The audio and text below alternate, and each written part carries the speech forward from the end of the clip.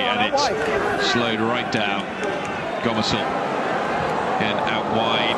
They've got options here. Sackey cuts back inside, beautifully offloaded from Sackey, and the try is scored.